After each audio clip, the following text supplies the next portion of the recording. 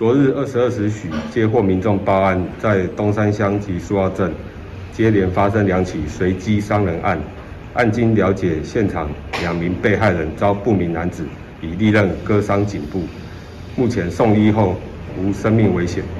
案发后，本分局立即与罗东分局组成专案小组，报警宜兰地检署检察官指挥侦办。经扩大调阅画面，迅速掌握犯嫌作案交通工具，认定刘姓治安顾虑人口设有重嫌。专案小组检察官核发拘票，选举于十九日下午二时三十分至刘贤书澳住处将其弃捕到案。起初犯案时身穿衣服及作案交通工具，全案依刑法杀人未遂罪，提请宜兰地检署侦办。本分局呼吁针对任何违法情事，绝对严查就办，绝不宽待，维护辖内良好治安环境。